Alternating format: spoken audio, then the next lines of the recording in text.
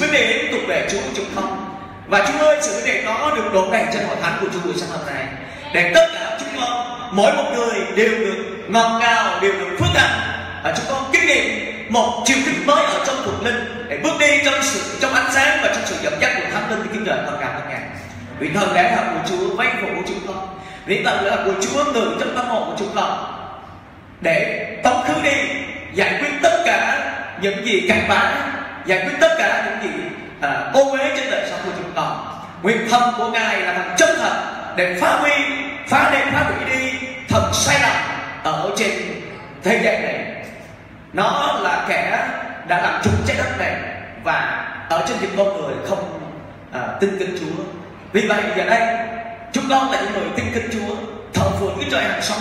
Chúng con đóng lại những cái cửa ngõ mà thần sai lầm đã dẫn dắt để chúng con hướng về Chúa là thánh linh của Đức Chúa Trời là thần chân thật mà Chúa Giêsu đã hứa ban cho hội thánh của Ngài. Nguyện xin chính thánh linh của Đức Chúa Trời đấng đã vận hành ở trong sự sáng tạo, đấng đã vận hành ở trong sự cứu chuộc, đấng đã vận hành ở trong hội thánh của Chúa, đấng kiện toàn hội thánh của Chúa đảm bảo ân chứng cho con đến ngày cứu chuộc được vận hành ở trong mỗi chúng con. Con cảm ơn Ngài. Chúng con ca ngợi Ngài. Cảm ơn Chúa, chúng con chọn sự đồng phục Đức Chúa Trời. Chúng con chọn à, vâng lời và bước đi theo ngài chọn hợp tác với ngài để sự dẫn dắt sự nét thắng trở nên hoàn thiện qua mọi đời sống của chúng con.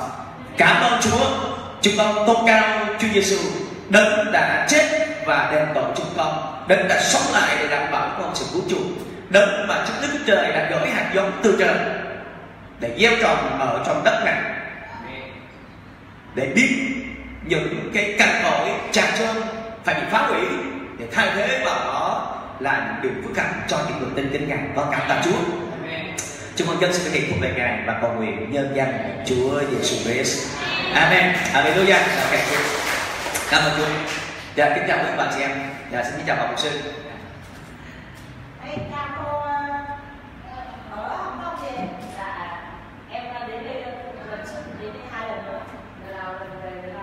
dạ dạ chào cô ạ à. dạ cảm tạ chúa à, bây giờ chúng ta cùng mà mở ra lại là trong à, lời chúa ở trong sách ký chương 1 câu 11 cho đến câu số 12 chúng ta hôm nay sẽ học về sự cái vai trò của thánh đức của chúa trong à, sự à, à gieo hay là à, cái nguyên tắc của sự gieo và gặt.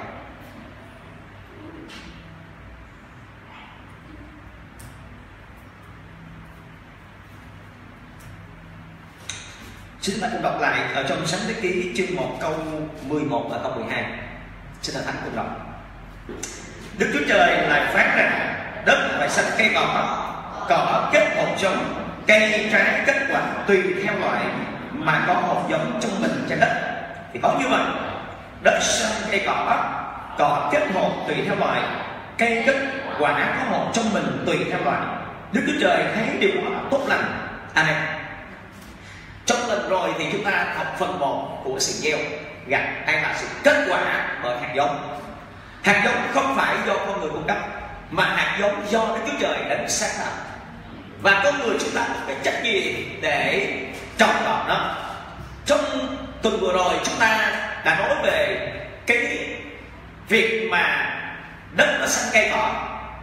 À, bản chất của đất không xanh cây cỏ xin lỗi bản chất của đất là xanh cây trái, nhưng nó không có xanh cây trong gai và cây tật lên cho đến khi nào nó mới xanh trong gai và cây tật lên đó là khi mà Adam và phạm tội, thì lúc bấy giờ đất mới xanh trong gai và cây tật lên loài người chúng ta cũng vậy ban đầu đức chúa trời tạo dựng ra chúng ta giống như chúng ngài, rất là tuyệt vời.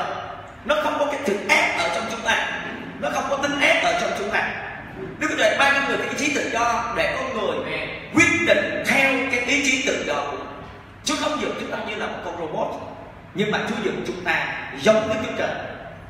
À, ngày qua thì có một người anh em nhắn tin cho tôi và à, thưa mục sư à, à, à, à, à, à, à thời ban đầu đó thì à, à, Đức Chúa Trời ngài tạo nên đó là à, gọi là mang tính truyền thông tri thức hay là à, truyền thông về sự hiểu biết. Tôi nói cái này cái từ ngữ thần học tự mình đặt ra rồi thì mình đưa mình vào vỏ tục Kinh Thánh nói Đức Chúa Trời tạo dựng Adam một cách hoàn hảo, một cách hoàn hảo. Adam có đầy sự khôn ngoan Adam có đầy cái sự hiểu biết, chỉ biết đó, kinh nghiệm ở trong Adam đó là gì? Đó chính là Adam là người đã tạo dựng, xin lỗi, người đã đặt tên cho tất cả các loài của nó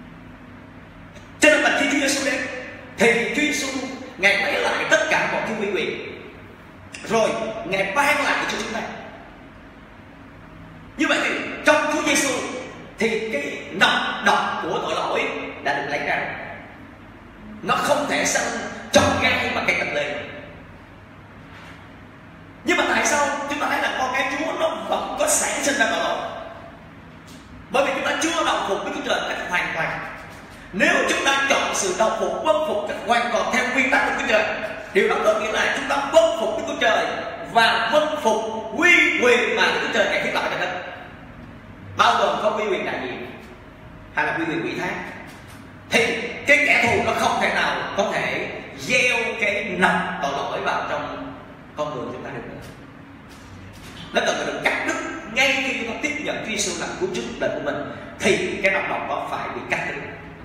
Rồi chúng ta, trong tuần rồi chúng ta học về làm thế nào để tiêu diệt được trong ngay và cây cạch lên. Đó là chúng ta phải nhận hạt giống từ Chúa Trời. Ngoài Chúa Giêsu Christ và lời của Ngài, ở trong Thi Thiên 55 từ câu 10 đến câu 13 thì như mưa và tuyết xuống từ trời không trở lại nữa, mà được dùng đất đai, có giống cho kẻ gieo và cho kẻ ăn, thì lời nói của ta cũng vậy. Đã ra từ miệng ta thì không bao giờ trở về nữa nhưng chắc sẽ làm trọn công việc ngài sai đi và chúng đó là ngài sẽ lấy cây tùng thay cho của cây cây si sẽ lớn lên thay cho cây điều đó là một dấu của đời đời không thể thực hiện. Cho nên rằng là cây tùng cây mắt hình hình bóng về lời không hương ác của Đức Chúa Trời. Khi nó tiếp nhận lời không hay ác của Đức Chúa Trời, thì chúng ta thấy rằng nó lớn lên và cỏ sẽ bị tiêu nhà cỏ nó không được bọc lên chúng ta thế là một người khi tin nhận Chúa rồi chúng ta cần phải liên tục có lời của Đức Chúa Trời vào trong đời sống của mình. Để chi vậy? Để những cái tính ép đó hay là những cái lực hạt giống, bản chất của đất nó không thể nào tiếp tục sanh trong gai đặt lên được. Yeah. hôm nay chúng ta sẽ nói về một loại gieo trồng khác, đó là gieo trồng thánh linh. Xin chúng ta cùng xem lời Chúa ở trong sách Gam-ti chương 6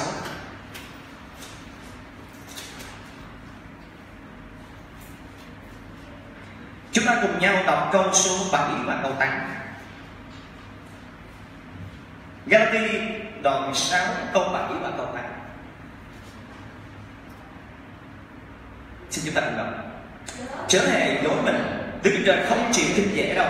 Vì ai gieo giống chi là gặt giống ấy Kẻ gieo cho xác thịt sẽ bởi xác thịt mà gặt sự hủy mát Xong kẻ gieo cho thánh linh sẽ bởi thánh linh mà gặt sự sống đời đời.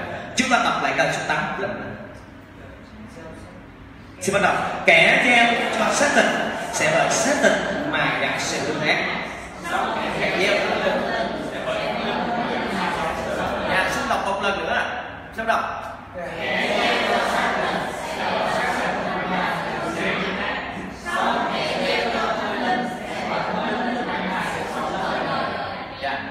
ở cho câu số 7 thì nói rằng là không à, để đảm bảo điều này, đó chính là Chúa Trời. Cái đó là Chúa Trời không chịu kinh dễ đâu.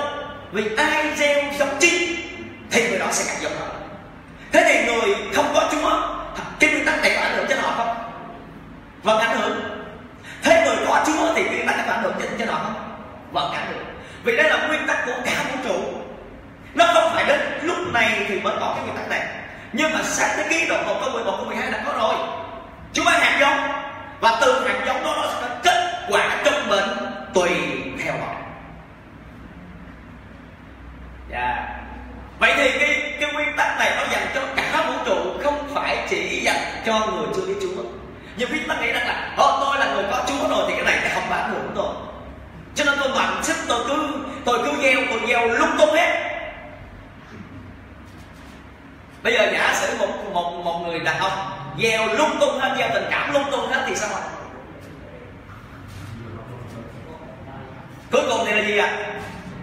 không có gì hết tức là bản thân người đó không có gì hết, nhưng mà thật sự người đó gặp lại những cái hậu quả vì chính mình gieo cho nên ở đây kinh thánh nói rõ có hai cái điều. Một là gieo cho xác thịt, thì bởi xác thịt gặt sự hương ác nhưng mà gieo cho thánh linh thì bởi thánh linh mà gặt sự sống đời đời. Vậy thì gieo cho xác thịt và gieo cho thánh linh, nó là cái gì vậy? Cùng trong bản văn của sách Galati thì chúng ta biết rất rõ về cái việc làm của xác thịt là gì?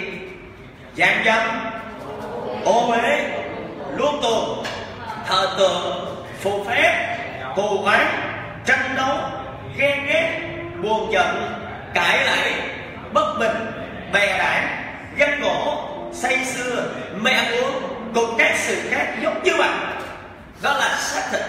Đó là cái công việc của xác thịt. Đây là những điều mà của thuộc về quá khứ của chúng ta. Nó vẫn đeo theo chúng ta không bà chị em? Nếu như chúng ta không tiếp tục gieo trong thánh linh thì cái này nó lại tiếp tục lên lên. Nó không bị mất trừ khi chúng ta chết với đấng Christ thì nó sẽ biến mất khỏi đời sống của chúng ta. Phần lớn con cái Chúa ngày hôm nay, cái tính xác thịt nó vẫn còn đi theo chúng ta. Nó song song với công việc của thánh linh của Chúa Trời. Cho nên là chúng ta muốn làm những cái việc vĩ đại của Chúa Trời. Chúng ta muốn sống tốt lành cho Chúa thì chúng ta lại sống không được. Nó cứ dặn co. Bởi vì ở trên nó như thế nào, câu số 17 vì xác thịt có những điều ưa muốn trái với thánh linh. Và thánh linh có những điều ưa muốn trái với xác thịt. Hai bên trái nhau điều này nên em không làm được điều mình muốn làm. Nhưng mà chúng ta phải có một cái quyết định. Và chỉ có những người ở trong Chúa Giêsu thì mới có cái quy quyền để quyết định gieo trong thánh linh. Còn nếu không, thì chúng ta vẫn tiếp tục gieo trong xác thịt và chúng ta biết rằng Adam và Eva khi ăn cái cây biết điều thiện điều ác thì cái gọi là cái cây hiểu biết đó, nó đã đi vào trong Adam và Eva. Và ảnh hưởng cho chúng ta đến cái ba ngày hôm nay. Cho đến khi Chúa Giêsu là hạt giống từ trời xuống thì chính Chúa Giêsu mới phá hủy cái hạt giống của ma quỷ. Đó là hạt giống hư nát đã gieo vào Adam và Eva và thú vị thế chúng ta cái quy quyền để chúng ta tiếp tục gieo trong thánh linh. Như vậy ở đây Phaolô đang cho chúng ta hai cái hình ảnh. Một là gieo trong xác thịt, hai là gieo trong thánh linh. Và bất cứ một cái sự gieo nào, nó đều có cái kết quả của sự gieo đó. Giả sử chúng ta gieo trong xác thịt, chúng ta nói hại anh em mình, thì chúng ta sẽ gặp lại cái kết quả sẽ bị nói hại. Nhưng ngược lại, nếu mà gieo trong thánh linh, có nghĩa là gieo trong sự thương xót, thì sao ạ? Chúng nó là ai thương xót thì người đó sẽ được gì? Được thương xót. Thường thì khi mà nói một cái sự việc về sự quyết định danh của Chúa, những cái điều mà Chúa Trời ngài làm làm chứng lại những cái ơn phước của Chúa, cùng với nói những những cái điều xấu của người khác, những cái điều sai trật của người khác, thì chúng ta lại thích, xu hướng thích nghe cái nào? Chúng ta thích nghe cái gì ạ? Chúng ta lại thích nghe những điều xấu nhưng nếu chúng ta hiểu biết về cái nguyên tắc gieo và gặt này, thì anh chị em sẽ đóng một cửa lại với cái việc mà những cái điều xấu tại vì Chúa nói các ngươi cẩn thận những gì các ngươi nghe. Nghe đó là tiếp nhận hạt giống. Nghe là tiếp nhận hạt giống.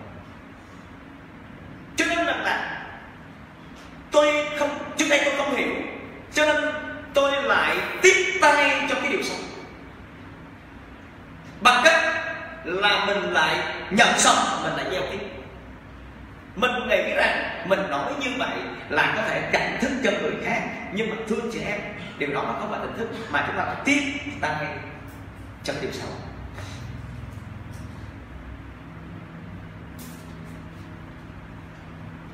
nguyên tắc của marketing là gì? Gây scandal để tự nó phát tán đúng không? Nguyên tắc của virus mà nó đi vào trong máy tính là gì? Nó kèm theo một cái file một gọi là cái mã độc. Cái mã đó nó có cái cái, cái, cái, cái tác dụng là khi chúng ta chạm đến nó thì lập tức nó phát tán ra. Tất cả những cái danh bạ có trong email của mình nó phải phát tán ra. Rồi ở trong cái điện thoại smartphone chúng ta vậy. Có những người xài messenger thì họ giờ người ta gửi đến một cái tin kêu bằng là à, tôi chúng à, xem SH này kia rồi rồi à, cái à, phiếu à, à đổ xăng à, à, một à, giá trị là 200 triệu rồi chỉ cần điền vào một số thông tin. Thế là nghe điền theo điền theo thế là nhập vô cái mã độc và tự nó nó copy hết tất cả danh bạ trong điện thoại nó gửi hết cho. Thí dụ mình có 5.000 người bạn ở trong đó thì nó gửi hết cho 5.000 người rồi năm ngàn người click vào đó thì nó gửi cho năm ngàn người khác. Khi mà mình chạm đến nó thì nó sẽ tự phát tán cái nguyên tắc của nó như vậy. Cho nên khi bắt đầu chúng ta nghe những cái và là những cái cái cái, cái, cái, cái, cái lời nói hay là những cái điều mà nó không đúng đắn thì hoặc là nó phải bị trị tiêu hoặc là nó sẽ phản tán nếu chúng ta học tập để gieo trong thánh linh thì nó không thể phát tán. Nó không thể phát tán được. Đến với chúng ta là phải được tiêu diệt nó. Nhưng mà làm sao để ta tiêu diệt đây? Anh sẽ có thể tự tiêu diệt được không? Không. Nhưng mà chúng ta phải kết hợp với chúa thì chúng ta có thể tiêu diệt được. Còn không thì một mình chúng ta không thể nào khả năng tiêu diệt được. Tại vì nếu tiêu, tiêu diệt được thì Chúa Giêsu không cần phải đến đúng không ạ cho nên là tất cả chúng ta cậy ơn của Chúa, chúng ta phải cộng tác để chúng ta phá hủy nó. Chứ không cho phép là phát tán. Yeah. cái từ gieo mà sư đồ Phaolô dùng ở đây.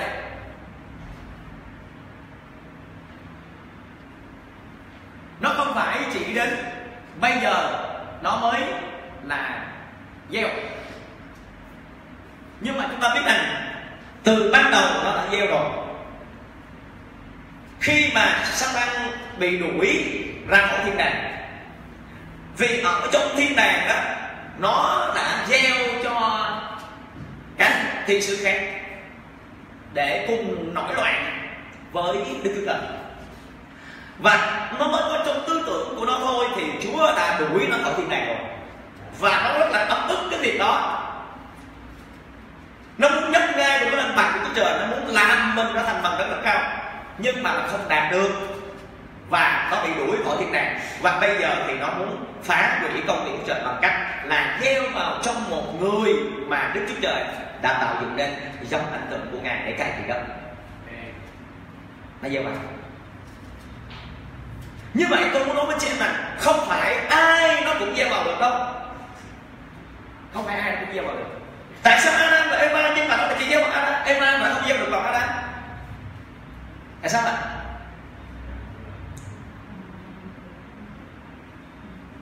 bởi vì Adam có lời của Chúa Trời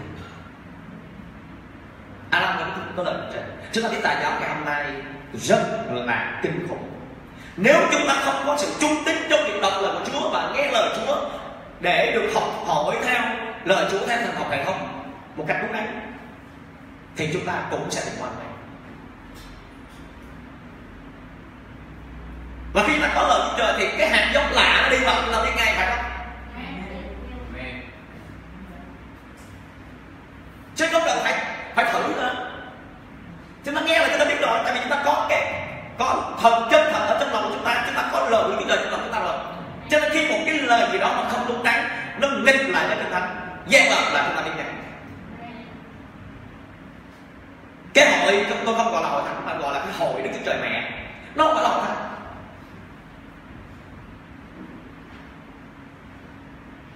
Một lần hẹn đến thì hẹn gặp tôi mà nói là, là có phải là mục sư là hiệu trưởng của trường thánh không? Tôi nói dạ đúng rồi tôi là người à, hiệu trưởng trường thánh mà có dạy kinh thánh. Hỏi rằng ở đâu? Họ nói là tôi ở tân phú. Họ nói rằng là tôi tôi nghe mục sư à, dạy lời chúa cho nên tôi tôi, tôi tôi tôi thích lắm tôi mừng lắm tôi muốn đến để tìm hiểu lẽ thật với mục sư. Ồ mà tôi thật ai là người giảng dạy lời chúa mà nghe người khác muốn tìm hiểu kinh thánh thì mừng lắm. Và tôi hẹn hẹn đến thì tôi cũng không biết là mình sẽ sẽ chia sẻ cái gì cho họ. Tùy cơ ứng biến. À tôi cầu nguyện với Chúa tôi cứ cầu nguyện như vậy. Và thế là một buổi chiều họ, họ đến đây với chúng tôi. Và tôi với vợ tôi với một em nữa ở nhà và họ đến họ đi bốn người ăn mặc cực kỳ lịch sự thấp cao quá cực kỳ lịch sự cầm xanh, xanh số này xanh số này rất là đẹp rất là đẹp trai. Anh nói lịch sự từ tốn vào cái điều cái điều lạ lùng đó là khi tôi vừa đưa tay bắt tại họ vừa đưa tay bắt tại họ thôi thánh linh đức trời cho tôi biết rằng đây là hội cái trời này. Tôi nghe được mình nói của chú ơi có có lộn không? Tại vì những người này quá lịch sự quá lịch sự.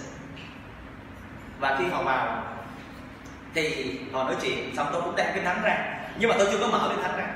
Bắt đầu họ đặt những câu hỏi. Thưa mục sư theo mục sư thì à, cái cây vả mà Đức Trời nói ở trong Chúa Giêsu nói ở trong Matthew đoạn 24 đó, là cái mùa hè mùa hạ thì cái cây vả nó nó sẽ nứt lọc nó thì cây vả nó nói về cái gì vậy?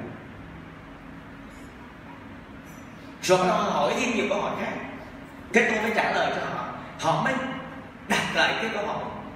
Bắt đầu họ nói là theo một số những cái thời đại này là thời đại gì? Cái tôi mới dừng lại tôi nói rằng là xin lỗi à, à, các anh các chị nha các anh các chị đến đây để làm gì vậy? À, giờ tụi, tụi em đang học lẽ thật. Phải không? Các anh các chị hỏi đến cái trời mẹ cơ giống như họ đang ngồi họ giúp mình. À, hỏi sao một sư biết mình có nói thánh linh của trời tỏ cho tôi biết họ đang cầm cái bánh ít mà tôi tôi mời họ ăn nó cầm họ rung như là họ mở cái họ là người không có tin vào thánh linh của Chúa. Cho nên là khi mà chúng ta tuyên bố về thánh linh là thần lẽ thật đó khi ta tuyên bố cái thần lẽ thật thì cái thần sai lầm nó bị cột trói. Không làm gì. Tôi nói tôi hỏi như này bây giờ hỏi cách chân tình này. Tại sao chỉ tìm con cái Chúa những người tin Chúa Giêsu rồi mà không đi ra rao giảng tin lành? Họ nói như vậy. Rao giảng tin lành để làm gì? Đó là để cho người ta được cứu. Họ nói rằng là giống như là cái, cái, cái trách nhiệm của họ là chỉ dạy cho những người có tin Chúa Giêsu rồi để chi vậy họ nói là để cho được cứu trọn vẹn. Tôi nói thế nào là được cứu trọn vẹn? Họ nói được cứu trọn vẹn đó là phải tin vào đấng Christ an sang hồng. Tức là một đấng Christ khác nữa, danh tên là an sang hồng gặp gặp ở Hàn Quốc. 70 tuổi chết tại Hàn Quốc. Hãy tin vào đấng Christ đó nó mới được cứu rỗi trọn vẹn. Cho nên không. Kinh lập tức lời Chúa phán cái gì? Chẳng có sự cứu rỗi trong đấng nào khác, vì ở dưới trời chẳng có danh nào khác, ban cho loài người để chúng ta phải nhờ đó để cứu rồi lời của Chúa tiếp tục đấy danh đoạn 14 câu sao là gì? Chúa sống phán rằng ta là đường đi. É thật và sự sống chẳng đổi ta thì không ai được cùng cả tôi nói tôi có Chúa Giêsu đủ rồi. Họ nói có Chúa Giêsu nhưng mà chưa đủ. Chúa Giêsu này chưa đủ. Chúa Giêsu Christ chưa đủ mà Chúa Giêsu Christ an sang hồng mới đủ. À, phải tin vào Đức Chúa Trời này Jerusalem mới đủ. Tôi nói không. Chúng tôi có Chúa Giêsu là đủ. Chúa Giêsu đảm bảo chúng tôi ngài ngài sẽ cứu rỗi chúng tôi và thánh linh Đức Trời thống chứng lòng tôi đến ngày cuối cùng mà một người tin nhận Chúa Giêsu ngay cái tin nhận Chúa Giêsu là người đó đã có cái giá chuộc rồi. Cho nên là sẽ không có ăn sang hồng cái đây thôi à, ăn bánh xong rồi về. Rồi bắt đầu từ đó không dám nói bất cứ cái gì nữa. Rồi ăn bánh xong rồi tôi nói tôi tiễn ra và tôi nói rằng là nên nếu mà muốn anh muốn được được à, à, phần thưởng của Chúa được cứu thì nên giảng tin lành cho người chưa được cứu. Mà giảng Chúa Giêsu đừng có giảng giảng một Giêsu nào khác. Ngay cả sứ đồ Phaolô nói vậy là gì? Là là khi mà chúng ta đừng có theo một tin lành khác. Cái tin lành mà Phaolô giảng nó chính là tin lành của Chúa Giêsu tin lành quyền phép tin lành của nước Đức Chúa Trời. Một cái tin lành nào khác ngoài không có Đức Christ thì đừng bao giờ tiếp nhận. Chúng ta xem có cái kinh ở đây, ở trong phiếu đen.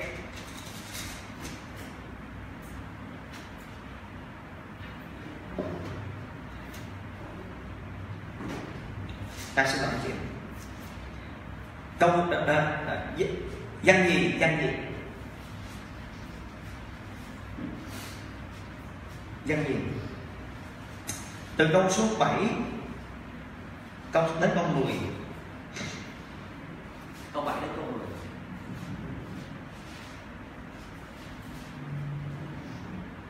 Rồi, xin đọc ạ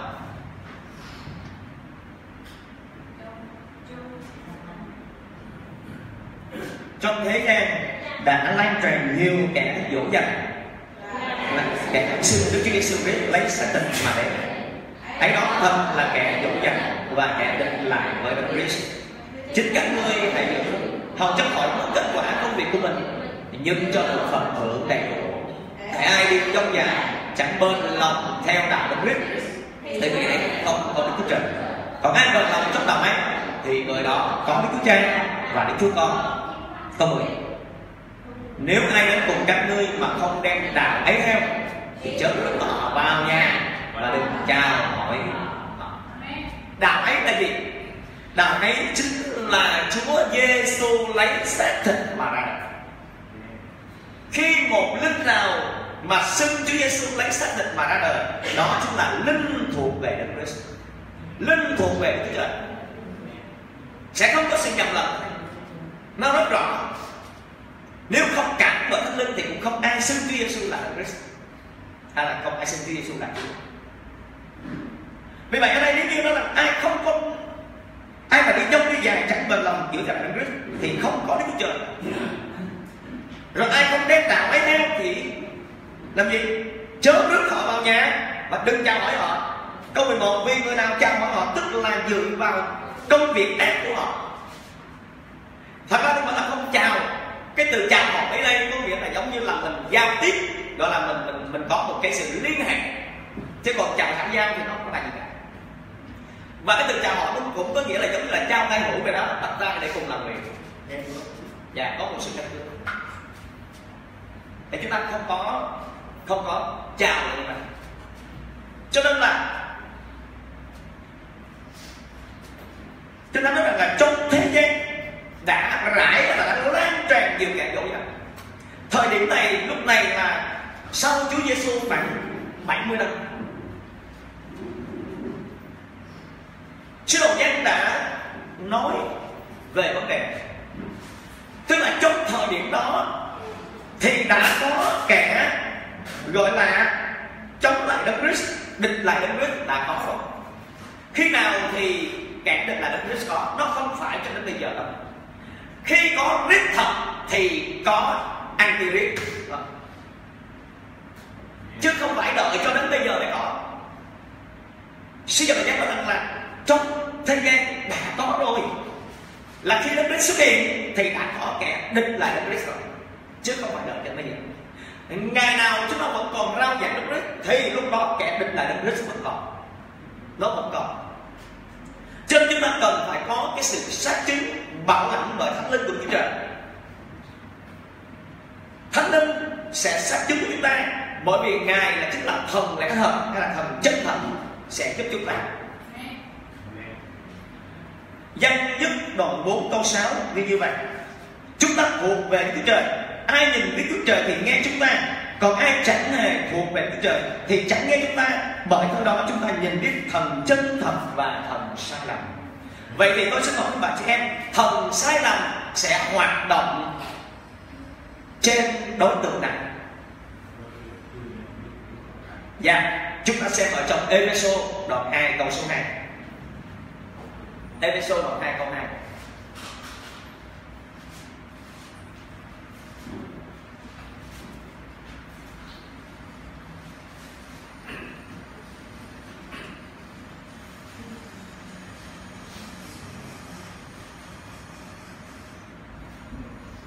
Epheso đoạn 2 câu 2 Rồi, xin các bạn đọc.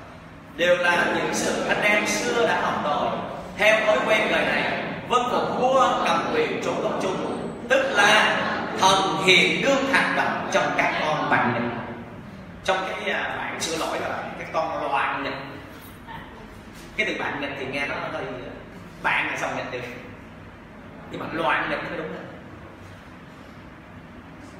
thì cái từ bạn nghịch hay là từ loạn nghịch này trong nguyên nghĩa của tiếng Hy Lạp có nghĩa là kẻ vô tính, kẻ nổi loạn, kẻ chống đối, kẻ kiêu ngạo kẻ không vâng lời, đó là cái từ loạn nghịch tất cả những cái ý nghĩa đó, nó không có ở trong đức chúa trời. Chúng ta tác dụng cái cái cái cái quạt kia, nó bị nó bị hư cái quạt đó, chúng ta đừng mở cái quạt đó. Nha. quay cái quạt này xuống dưới kia. Ai không có nhiệm vụ chúng ta xuống dưới đó, còn một người chỉ máy thôi. Quay cái quạt xuống dưới kia cho cho, dưới kia cho máy.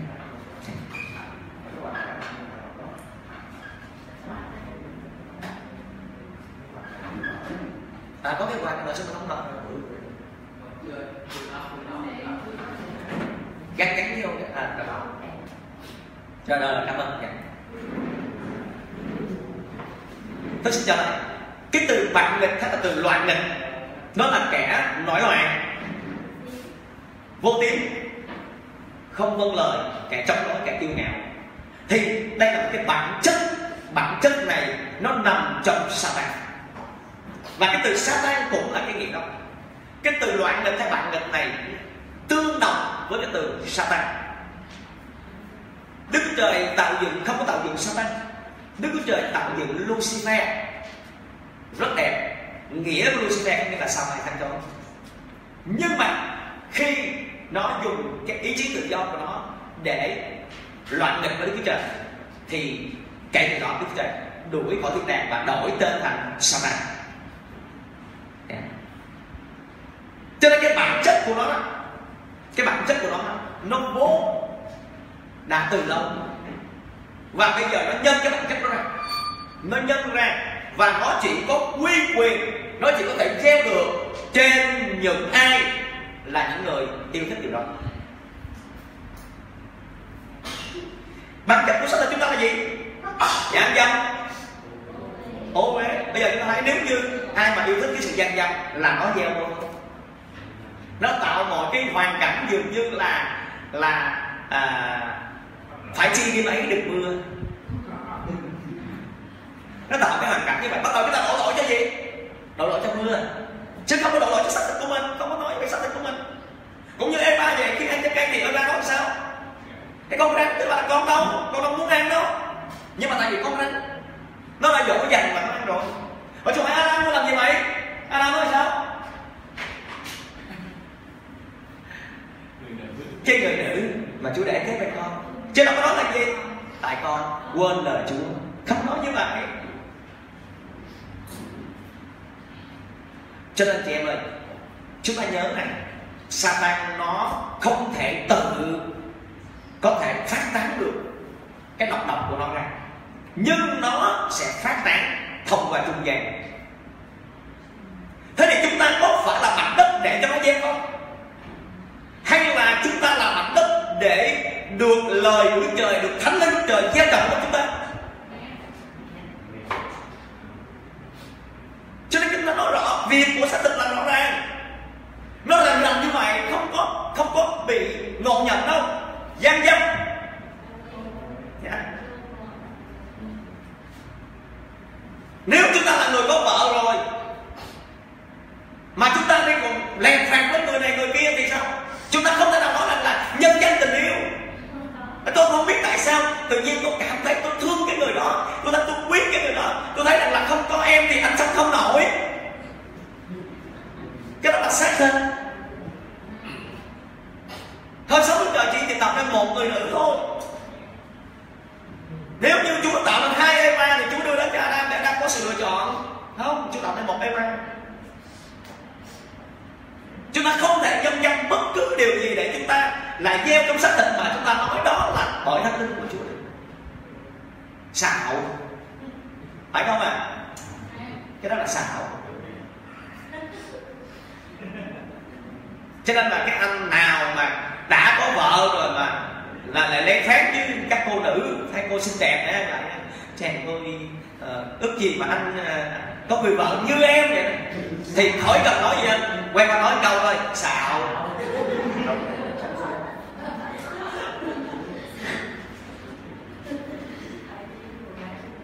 Chúng ta không phải là trung tâm để giải quyết xác định chúng ta không phải là trung tâm để phát tán nhưng mà chúng ta là trung tâm để được gieo trồng ở trong thánh linh của Chúa Trời. Chúng ta không có đủ thời gian rồi.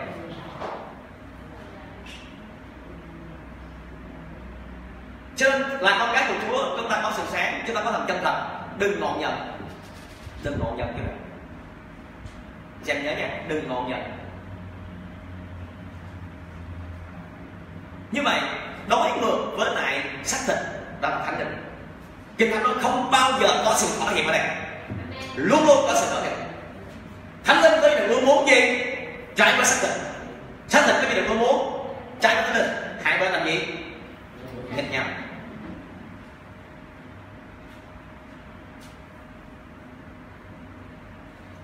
là có một anh chàng kia, ngày xưa cũng là học cùng với tôi. Trong lần đó thì anh nói rằng là anh muốn được biết ý của Chúa, cho quyết định là anh kiên ăn cầu nguyện 40 ngày và anh kiên ăn cầu nguyện cho đến ngày thứ 31 anh gọi điện cho tôi. Anh nói, em ơi, bây giờ anh tới ngày 31 rồi, bây giờ anh đuối lắm rồi. Anh đuối lắm rồi, bây giờ anh ăn trở lại được không? Tôi nói, cái này tùy giữa anh với chúa thôi, chúa không có ép anh đâu. Nếu anh không có thể nào có thể tiếp tục nữa thì anh có thể nói với chúa là nhà con không thể nào tiên ăn nổi nữa thì thôi dừng lại. Để tôi mới hỏi thêm. Vậy thì trong thời gian anh kia anh cầu nguyện như vậy, anh có nghe được tiếng của chúa anh có nhận được tiếng muốn của chúa chưa? Nếu như anh chưa nhận được tiếng muốn của chúa thì anh tiếp tục cầu nguyện tại chúa, cái đó đó. Còn nếu đã nhận được rồi, thì thôi, anh có thể dừng lại. Anh nói, có, anh nhận được tiếng chúa rồi. Anh nhận được tiếng của chúa. Hỏi, tiếng chúa như thế nào? Anh nói, bữa nay cầu nguyện. Vâng, Và chúa cũng đã người rồi đuối quá rồi, lọt lá người rồi, bởi vì cả mấy chục ngày không ăn mà cho nên anh nghe một tiếng phán người bỏ công vợ người đang ở đi, ta sẽ cho người con vợ khác. Rồi ta sẽ cho người có tiền, để ngươi sẽ đi 196 quốc gia để truyền giảng tin lành cho ta.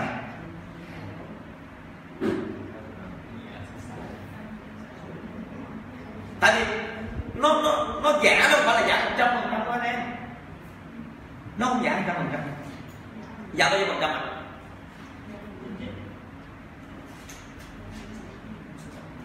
Anh chị em có biết cái tờ này là thiệt hay giả? Giả thiệt ạ.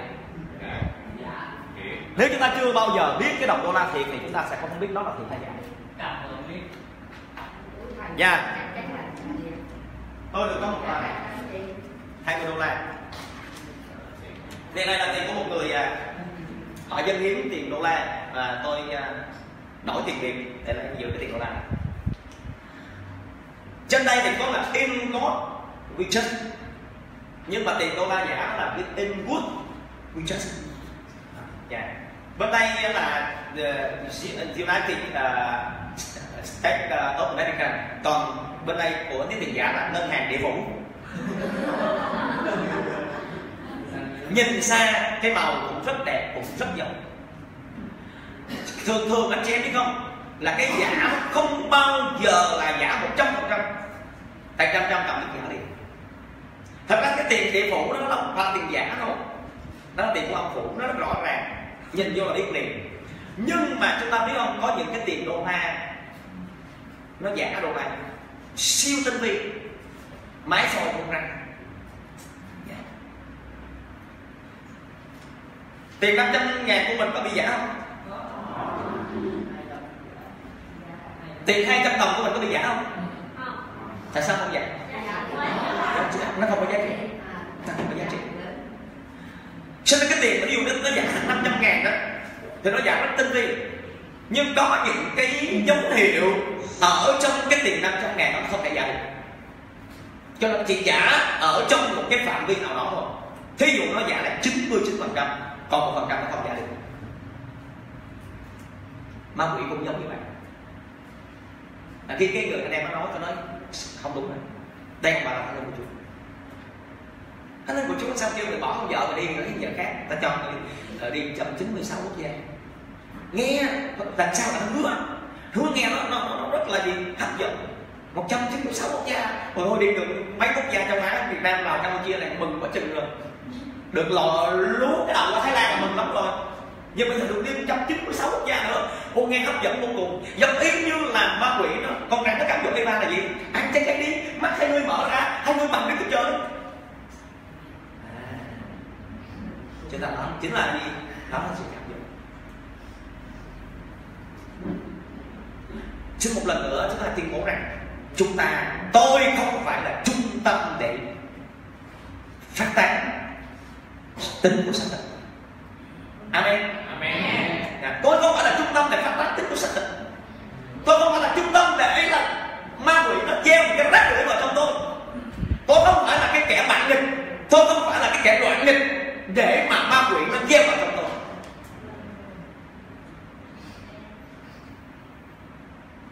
Anh chị biết rằng là ngày hôm nay cũng vậy. Có cái chúa cũng vậy.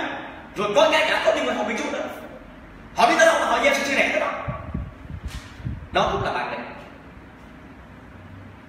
Đi tới đâu họ cũng chê chê hết ông này tới ông kia, chê ông nọ. Cuối cùng là gì? Con mình tôi là tốt nhất. Hội thánh thì có mười mấy, hai chục người thôi, mà nói tất cả đều là tà giáo. Có mình tôi chánh giáo. Chúa chết, để cứu có mười mấy người đó. Có một lần cái em nó cũng học trường đó và em nó học xong rồi ghé thăm thôi xong rồi thầy biết không? Lần này em em học một bài học hay vô cùng. Tôi hỏi là làm gì? Đó là bài học về về đi truyền giáo. Chừng nào Chúa kêu mình đi truyền giáo cho người A thì mình truyền giáo người A. Cứ như mình đi truyền giáo người B thì đi truyền giáo người B. Chứ đừng có đi tự đi truyền giáo. Tự đi truyền giáo là đi trước Chúa. Là là là là, là minh lại với Chúa. Là không vâng lời Chúa. Là, là gọi là gì? Không tốt trọng Chúa. Và em thấy là cái hội thánh của em chỗ hội thánh của em là số một lẽ thật ở đây tuôn tràn ra chỗ khác không có lẽ thật. Ta nói cái này ý tưởng của em ở đâu? Ta gieo cho em. Không không không em chú cho em. Vậy Chúa Giêsu chết thì có mười, mười mấy hai chục người trong bản thánh của em. Tính cái ý tưởng mà không đi truyền giáo đó là ý tưởng nghịch lại với Đức Christ nghịch lại mạng lệnh của Chúa. Mạng lệnh của Chúa là cách đây là hai ngàn năm rồi. Hãy đi cái thế gian dẫn tức là cho mọi người mạng lệnh nó vẫn còn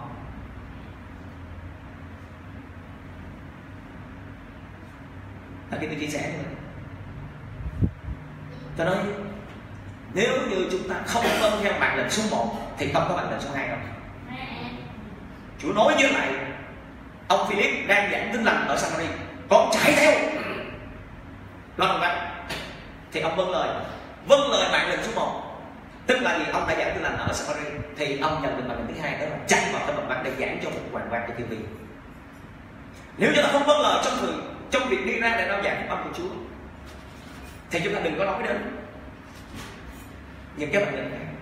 Mạng lệnh đó là số 1 mạng lệnh lớn nhất. Chúng ta đã học rồi, có hai mạng lệnh đúng không? Hai mạng lệnh đại mạng lệnh đó thứ nhất là giảng tin lành. Thứ hai là gì? Dạy họ đây là hai mạng lệnh chúng ta không thấy. Chưa dân phong phục mạng lệnh thứ nhất, thì chúng ta đừng nói thêm cái mạng lệnh khác. Chân chúng ta ở đây chúng ta thấy là gieo cái xác thịt hay gieo cái thánh linh. Trong kinh thánh nói và trái của thánh linh là yêu thương vui mừng bình an nhịn nhục nhân từ hiền lành trung tín mềm mại và nhiệt độ. Sao tại chúng ta không gieo cái này. Gieo yêu thương tức là áo mình cái, cái tình yêu của Chúa rải đến tất cả mọi người. Chúng ta không có ghét ai không thù ai không quán ai cả. Gieo trong sự gieo vui mừng gieo cái sự bình an. Bây giờ nếu tôi đến nhà tôi em mỗi lần tôi đến là mất một món đồ, mỗi lần đất mất món đồ thì khi thấy tôi xuất hiện, anh em làm gì?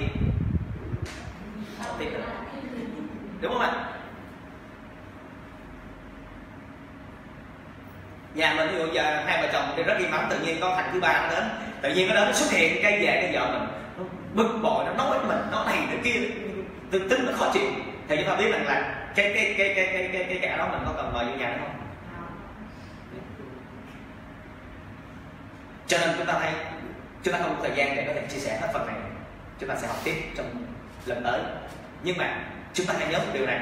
Chúng ta không phải là trung tâm để truyền bá hay là nhân cái tính của sách thật ra. Nhưng chúng ta là mảnh đất để được gieo trồng trong thánh định kinh thánh nói rằng, ai gieo cho xác thịt thì gặp sự nát nhưng mà gieo cho thánh linh thì gặt sự sống.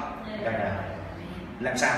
Chúng ta sẽ khai triển triển khai đầy đủ về gieo trong thánh linh một cách cụ thể như thế nào. Xin Chúa ban phúc cho tất cả bà chị em. Bây giờ chúng ta cùng nhau tuyên bố tôi không phải là chỗ để gieo trong xác thịt. Giả sử như ai đó gieo những cái sự bất hòa gieo cay đắng gieo tổn thương thì chúng ta giúp đỡ cho nó được giải phóng ra tổn thương. Chứ đừng có tiếp tay để nhân cái sự tổn thương đó ra và cái điều đó ma quỷ rất là tinh vi chúng ta không sợ nó, nhưng chúng ta phải tỉnh thức. Amen. Đừng để đời sống của mình trở thành trung tâm để gieo cho xác thịt. Dạ. Amen. Dạ bây giờ xin mời chúng ta cùng nhau đứng lên. Chúng ta dâng lên chúng ta cầu nguyện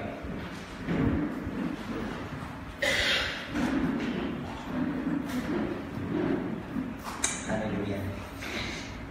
Chúng ta cùng nhau tuyên bố nha. Trong danh của Chúa Giêsu. Đấng mà con thuộc về. Ngài đã ban thánh linh của Ngài cho con. Ấn chứng trong lòng con đến ngày cuối cùng Con tuyên bố rằng, bởi Chúa Giêsu mà thần sai lầm không còn ở trong con nữa nhưng con chỉ có. Thần chân thật là thánh linh của Đức Chúa Trời. Được ban cho thông qua sự cứu chuộc của Chúa Giêsu ấn chứng trong lòng con đời đời. Lại Chúa giờ này. Đời sống của con như là một mảnh đất. Để gieo trồng hạt giống quyết định đóng cửa. Với hạt giống của xác thịt. Nhưng sẽ mở cửa cho hạt giống của thánh linh. Để qua đời sống con. Đem lại sự bình an tươi mới. Vui mừng. Đó là những điều mà thánh linh đem đến. Con tuyên bố. Chặt đứt. Những cái tư tưởng hạt giống của xác thịt. Không được hoạt động ở trong con. Không thông qua con để nhân ra. Nhưng mà nước thiên đàng. Qua con được mở rộng. Con chọn đầu phục đức chúa trời.